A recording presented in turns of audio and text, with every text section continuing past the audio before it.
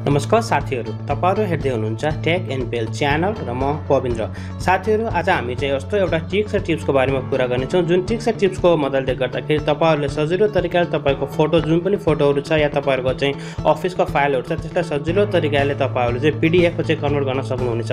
साथीहरू हाम्रो चाहिँ पिडिएफमा चाहिँ कसरी कन्भर्ट गर्नुपर्छ किनभने हाम्रो चाहिँ विभिन्न अब ठुल्ठुलो फाइलहरू हुन्छ या तपाईँको चाहिँ जुन फोटोहरू हुन्छ क्लियर रूपमा तपाईँले कसैलाई पठाउनु पर्छ भने चाहिँ तपाईँले चाहिँ त्यसलाई चाहिँ पिडिएफमा नै कन्भर्ट गरेर पठाउनु पर्ने हुन्छ किनभने डाइरेक्ट चाहिँ धेरै चाहिँ भनौँ न हेभी फाइलहरू नजाने र तपाईँको डकुमेन्टहरू चाहिँ कुनै तपाईँले डकुमेन्ट एडिट गर्नुभएको छ भने त्यो डकुमेन्टलाई तपाईँ चाहिँ अरूले एडिट नगर्यो भन्दा पनि हामीले पिडिएफ फाइलमा चाहिँ कन्भर्ट गरेर हामीले चाहिँ सेन्ड गर्ने गर्छौँ र साथीहरू आज हामीले त्यो हेर्नेछौँ हामीले कसरी कन्भर्ट गर्ने भन्ने बारेमा so without delay let's begin.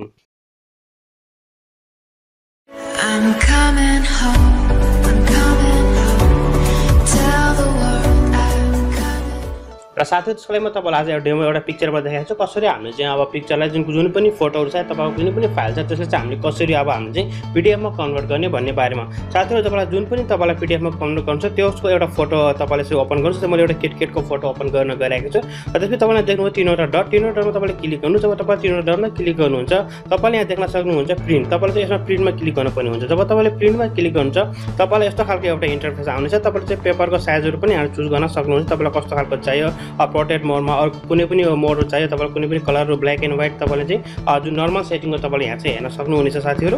त्यसपछि तपाईँले जस्तो चाहियो त्यो सेटिङ गर्नु र सेटिङ गरेपछि तपाईँले यहाँ देख्नुहोस् एउटा आयो आइकन पिडिएफ जुन छ तपाईँलाई एउटा पिडिएफको आइकन देखेको हुन्छ र पिडिएफको आइकन तपाईँले क्लिक गर्नु।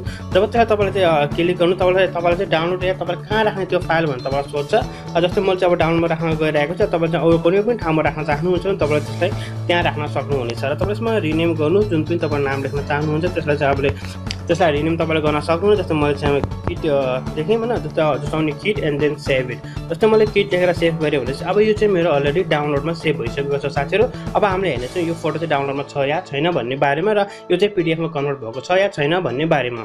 साथीहरू मैले चाहिँ डाउनलोडको फोल्डर अलरेडी ओपन गरिसकेको छु। सबभन्दा पहिला तपाईँले देख्नुहुन्छ किट भनेको चाहिँ पिडिएफ चाहिँ भर्खरै बनेको चाहिँ हाम्रो पिडिएफ फाइल छ। तपाईँले यस्तो पिडिएफ फाइल ओपन गर्नुभयो भने जुन पनि तपाईँसँग पिडिएफ फर्मेटहरू छ तपाईँले देख्नुहुन्छ यो चाहिँ पिडिएफ फाइलमा चाहिँ अलरेडी नै ओपन भइसकेको छ। र साथीहरू यसरी चाहिँ हामीले चाहिँ जुन पनि जुन तपाईँको डकुमेन्ट छ तपाईँको फोटोहरूलाई सजिलो तरिकाले हामीले चाहिँ पिडिएफमा चाहिँ यसरी कन्भर्ट गर्न सकिन्छ। र साथीहरू मलाई आशा छ तपाईँहरूलाई आजको यो भिडियो मन पऱ्यो होला। यदि यो भिडियो मन परेको खण्डमा लाइक र कमेन्ट गर्न चाहिँ नभुल्नु होला र साथीहरू यदि तपाईँहरूमध्ये कुनै साथीहरू हाम्रो च्यानलमा नयाँ आउनुभएको छ भनेपछि कृपया हाम्रो च्यानललाई चाहिँ सब्सक्राइब गरिदिनु होला। सब्सक्राइब गरिसकेपछि त्यो बेल आइकनलाई चाहिँ क्लिक गर्न नभुल्नु होला। किनभने चाहिँ हामीले जहिले पनि भिडियो अपलोड गर्छ सबभन्दा तपाईँले पहिला त्यो भिडियो हेर्न सक्नुहुनेछ। तबसम्मको लागि bye take care have a great and fun time subscribe गर्नुहोला टेक एनपिएललाई र नजिकै रहेको बेल आइकनलाई प्रेस गर्नुहोला हामीले अपलोड गरेका भिडियोहरूको नोटिफिकेसन पाउनलाई। सब्सक्राइब गर्नुहोला टेक एनपिएललाई र नजिकै रहेको बेल आइकनलाई प्रेस गर्नुहोला हामीले अपलोड गरेका भिडियोहरूको नोटिफिकेसन पाउनलाई।